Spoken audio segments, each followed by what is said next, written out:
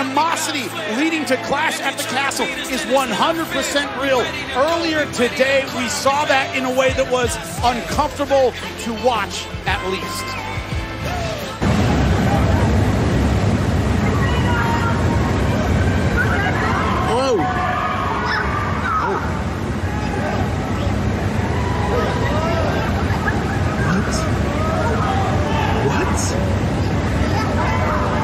No way.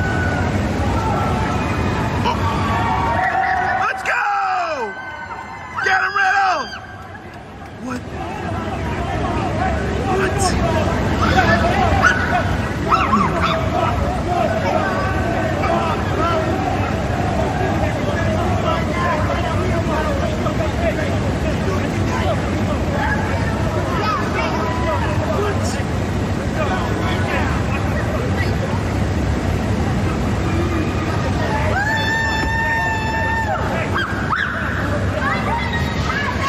Please welcome my guests, Matt Riddle and Seth freaking Rollins. Gentlemen, thank you for your time. But before we get started, I've got to ask what went down between the two of you outside the arena earlier today? Oh, I'll tell you what went down, Graves. Riddle's out there creeping by my bus, and I don't know what I he's wasn't up to. creeping by your I don't know what his I was on the intentions phone are. talking to Randy, expensive- trying yeah, to you see were what he was talking up to to. Randy. Sure, you were. said Do you know you how have no idea what's my going on. Okay, okay, okay, guys, guys, what that is? Guys, okay, let's try to move on here.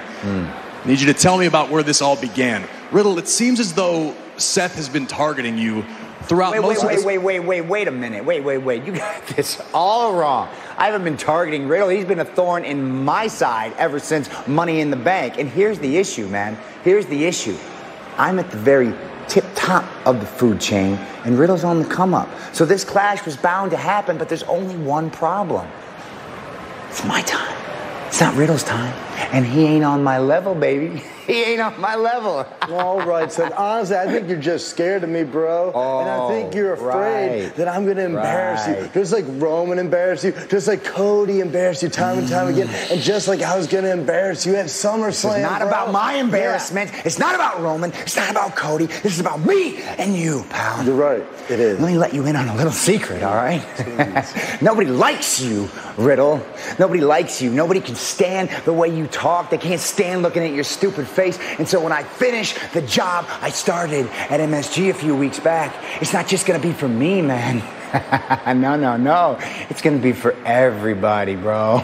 Well, Seth, if you're gonna try to get rid of me, it's gonna take a lot more than what you're doing because I'm gonna be here for a long, long time, bro. so get used to it. Oh, Okay. Yeah. You better watch your words, man, because this Ooh, Saturday. I am gonna finish what I started. And if that means putting you on the shelf right next to Cody Rhodes, then that's what I'm gonna do.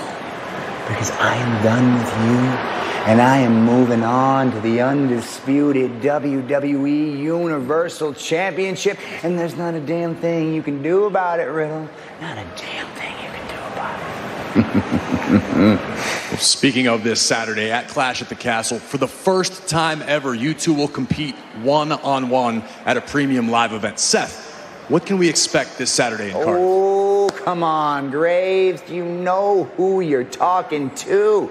I'm Seth freaking Rollins, baby. I'm gonna steal the show. I'm gonna stomp Riddle's head into that mat one more time and show him once and for all who the man around here really is.